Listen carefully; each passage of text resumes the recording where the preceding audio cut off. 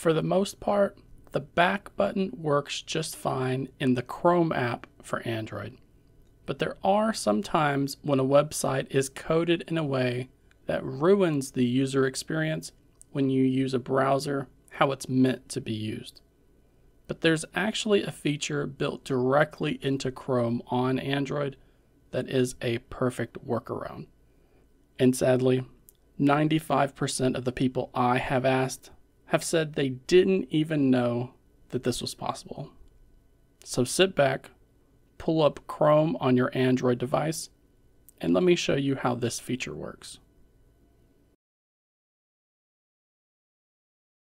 I'm only using F-Droid as an example here, but this is an issue that I've noticed with more than one website out there.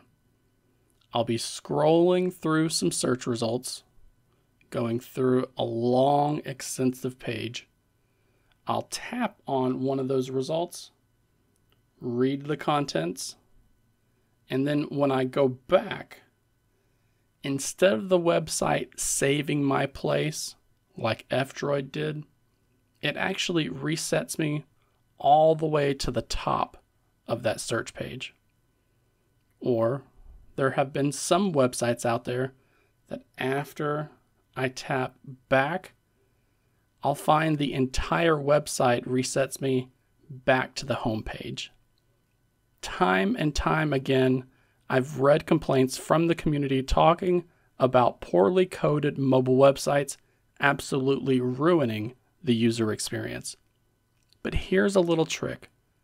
The next time you're browsing the web in Chrome on Android, instead of doing a quick tap on that link, perform a long press gesture and then use the preview page feature to view the contents of that website.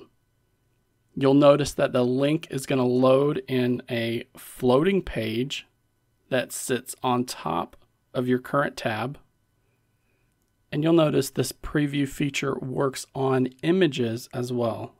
So you can long press on the image itself, preview it in a floating tab.